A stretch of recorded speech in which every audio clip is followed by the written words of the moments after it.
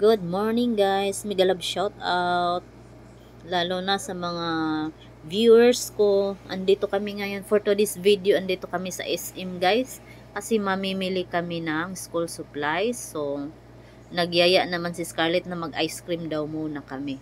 Gusto ko sana pumunta diyan sa ano, dun sa milk tea sa ano sa Macau. Hindi na lang kasi yung budget ko lang na doon na, doon na lang muna tayo sa gelato. Kasi nag-request yung isa. Matagal na daw siya hindi kumakain ng ano, ice cream na gelato. Ayan na. Masaya na naman yung batang na, bata na yan. Ayan, dito na kami sa school supplies. Ayan, bibi, yan yung bibilhin namin guys. Nakalista na.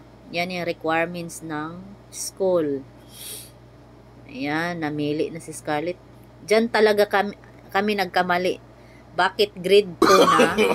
no, no, no, no. Paper yung papel na ano yung nabili namin.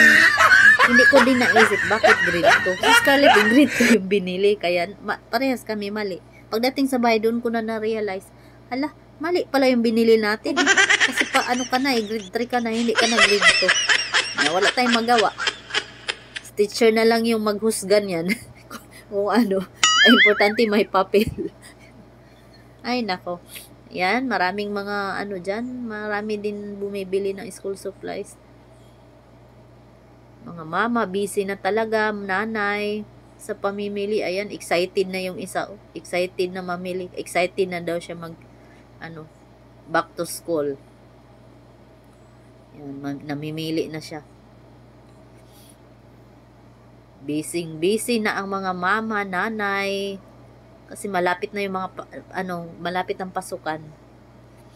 Pasensya na kayo guys ha, may sip-on kasi ako ngayon, kaya medyo ano yung boses ko.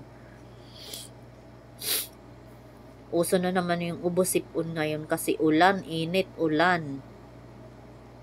Kaya may sip-on at ubo na naman kami. Ayan, inisa-isa namin kung ano yung mga bibilhin. So, mega love shout out sa lahat ng Team Puyaters, Team Epic, mega mega love shout out sa mga silent viewers at mga uh, sumusuporta sa aking channel. Maraming salamat guys sa patuloy na pag-support nyo. Sana ipagpatuloy nyo pa ang pag-support nyo sa aking channel. At uh, balang araw, maibabalik ko din yung mga ano niyo, mga tulong niyo at support niyo. Ayan. May namili din, may namili din dyan. Oh. Di, hindi ko na lang pinapakita yung mga ano nila. Yung mga mukha nila. Kasi mahirap na. Ayan, doon naman kami sa notebook para matapos na yung ano namin. Uh, mission sa araw na to.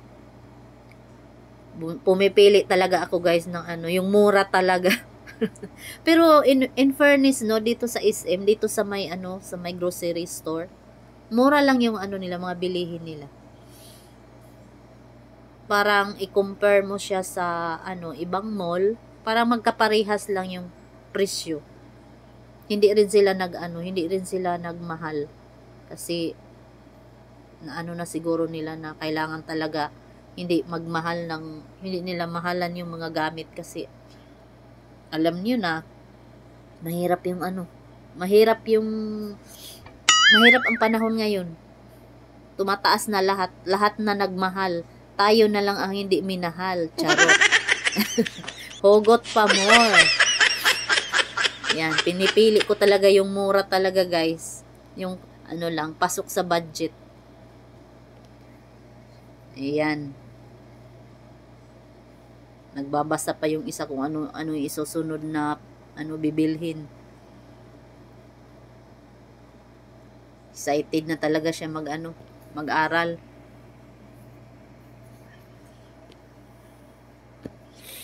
Dami din silang ano school supplies dito sa ano sa grocery store ng SM kumpleto din yung ano school supplies nila diyan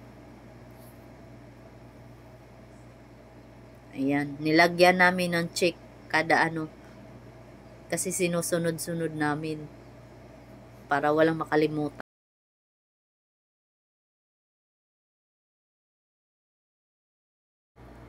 Andito kami ngayon, bumalik kami kasi may nakalimutan si Scarlett bilhin. Ayan, may ano na naman.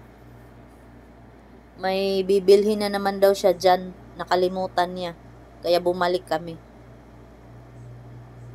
Bising-busy yung mga mama, mga nanay ngayon sa pamimili ng mga school supplies. Marami na kasing, marami, maano na kasi. Malapit na yung pasukan.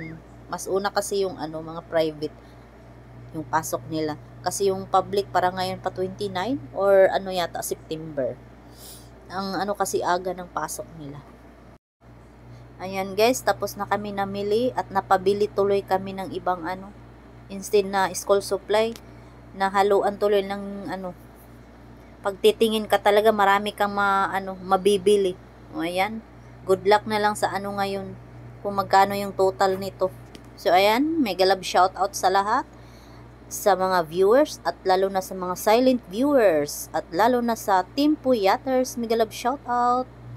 Thank you all sa support at God bless us all. Maraming maraming salamat. Thank you for watching guys. So, hindi ko na napapakita kung magkano.